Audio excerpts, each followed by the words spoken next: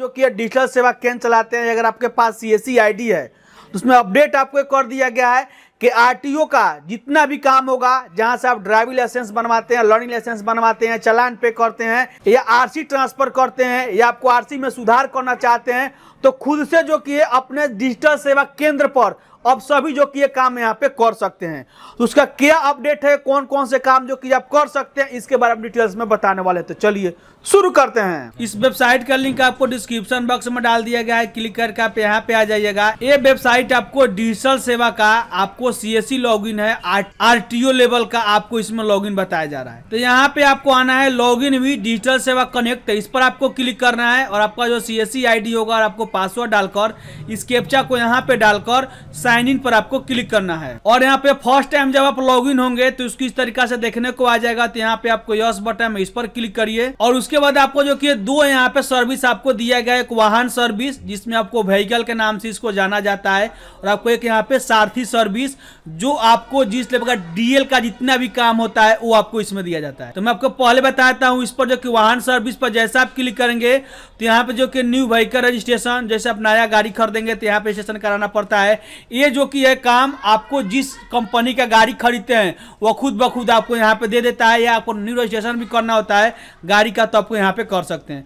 Renewal का registration आपको करना होगा, इस प्रकार कर सकते हैं। एड्रेस भी आपको चेंज करना होगा आरसी पर, वो कर सकते हैं। गाड़ी का जो कि ट्रांसफ़र करना होगा ओनरशिप वो भी आपको यहाँ से कर सकते हैं। या किसी भी जो कि गाड़ी का आप एनओ से निकालना चाहते हैं नो ऑब्जेक्शन सर्टिफिकेट वो भी निकाल सकते हैं। रिन्यूअल जो कि आपको टेम्प्रोरी आरसी इसमें करना होगा तो उसको भी आप कर सकते हैं। या आपको चेंज जो कि आरसी का नेम करना हो, कर सकते हैं। तमाम जो कि सर्विस आपको इसमें दिया गया है, लेकिन कुछ कुछ जो कि सर्विस अभी यहाँ पे लाइव किया गया है।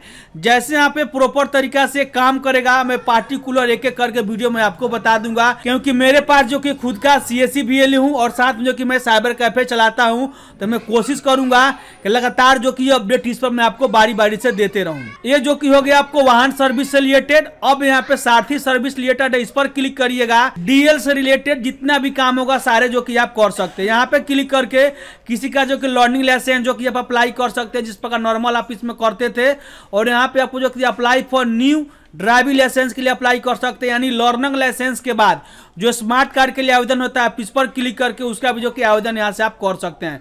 और यहाँ पे जो कि अप्लाई फॉर कंडक्टर डीएल जो होता है, जो पीले कलर का, आपको जैसे प्राइवेट वाला होता है, उजला कलर का कमर्शियल जो कि गाड़ी के लिए होता है, इस प्रकार जो कि आप यहाँ पे आवेदन इसका भी कर सकते हैं। और यहाँ पर लर्निंग लाइसेंस का जो कि डीएल का सर्विस आप इसमें चेक कर सकते हैं। यहाँ पे अपडेट जो कि मोबाइल नंबर भी आप इसमें कर सकते हैं अपने डीएल में। प्रिंट जो कि फॉर्म दोबारा से निकाल सकते हैं। तमाम जो कि सर्विसेज़ आपको इसमें दिया गया है। इसमें जो कि मैं कोशिश करूँगा कि पार्टिकुलर आपको एक एक करके वीडियो में बनाकर दे दूँ, क्योंकि आरटीओ से रिलेटेड कोई भी आपको सर्विस पर काम करना होगा, किसी प्रकार का आपको इसमें प्रॉब्लम नहीं आए। और उसके बाद यहाँ पे परमिट से रिलेटेड आप इसमें करना चाहते हैं तो इसमें अवेलेबल सुन है। थोड़ा सा इंतज़ार करिएगा, जो कि ऑल ओवर स्टेट के लिए आपको परमिट निकालना होता है, जो कि भारी वाहन के लिए इसमें अलाउ किया जाता है परमिट। वो भी जो कि काम इस पोर्टल पर आप आसानी तरीका से कर सकते हैं। जिस प्रकार आप जो कि पहले, अपने पेन कार्ड बनवाने के लिए शहर में आपको भटकना पड़ता था, अब यहाँ पे सीएससी के माध्यम से आप पेन कार्ड बिल्कुल आसान बना सकते हैं, खुद ब खुद अपने पास से। तो ये भी चीज़ जो कि अब आपको आरटीओ का तमाम जो कि सर्विस है, बिल्कुल आपको इसमें आसान हो जाएगा।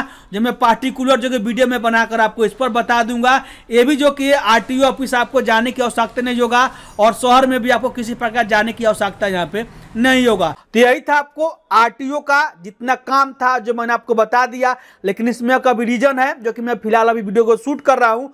तो इसमें पूरा जो कि ये काम अभी ऑनलाइन के माध्यम से शुरू नहीं किया गया है। अभी कोई कोई जो कि काम यहाँ पे लिंक डाला गया है। जैसे सुचारू रूप से सारा जो कि लिंक इसमें एक्टिव हो जाता है, मैं एक एक करके पार्टिकुलर आपको वीडियो बनाकर बता दूँगा। और मैं उरा शर्मा, फिर तो नए टॉपिक के साथ तब तक के लिए जय हिंद।